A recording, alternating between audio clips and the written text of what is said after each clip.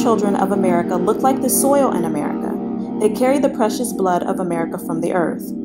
All indigenous blooded people have the love and power of life with earth within their blood. They are a part of life on earth. Everything else in their location is a foreigner or a mutation of one. It is as simple as that.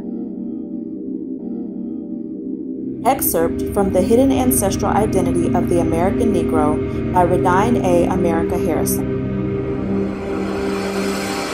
The various cultures collectively termed mound builders were prehistoric indigenous inhabitants of North America who, during a 5,000 year period, constructed various styles of earthen mounds for religious, ceremonial, burial, and elite residential purposes. These included ancient cultures of the Archaic period of 8000 BCE the Woodland period of 1000 BCE, which are the Calusa, Adena, and Hopewell cultures, and Mississippian period, dating from roughly 3500 BCE to the 16th century, living in the regions of the Great Lakes, the Ohio River Valley, the Mississippi River Valley, and its tributary waters. The namesake cultural trait of the mound builders was the building of mounds and other earthworks.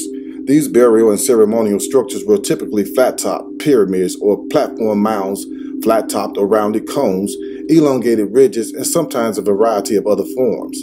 They were generally built as part of complex villages for ceremonies, burials, and housing.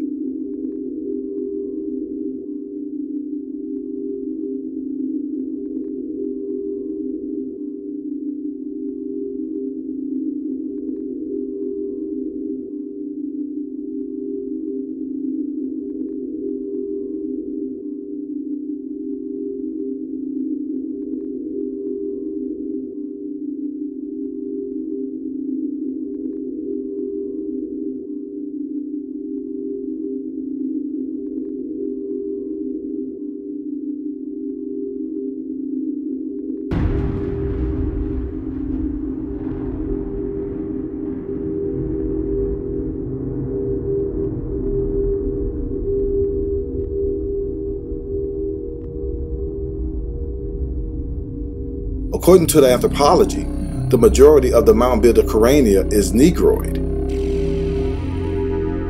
Craniometry can determine with 95% accuracy. Thus, the descendants of the mound builders of North America are the displaced people today called the African Americans.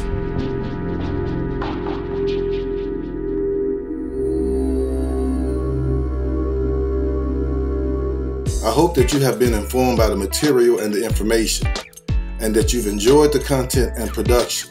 Please support the channel. Your support is appreciated in the production of the video presentations.